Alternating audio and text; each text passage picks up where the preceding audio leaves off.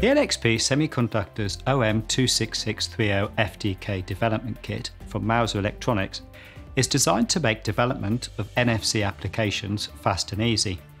The kit includes a CLEV 6630B board with integrated 65 by 65 mm antenna, a 30 by 50 mm antenna with matching components, three PCBs for individual antenna matching, an NFC sample card based on NTAG 216, 10 CLRC 663 Plus samples in HVQFN package and a micro USB AB cable.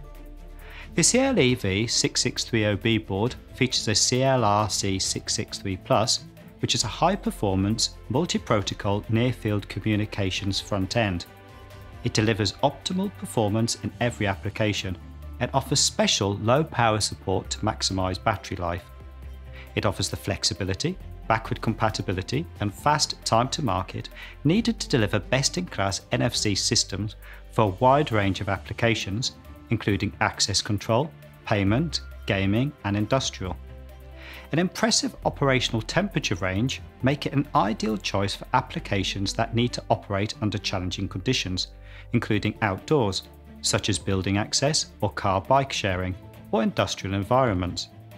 Using the NFC cockpit, which is an intuitive Windows-based GUI with a VCOM interface, designers can control test applications and configure settings such as EEPROM, RF field control, card operation, and LPCD operation, all without writing a single line of software code.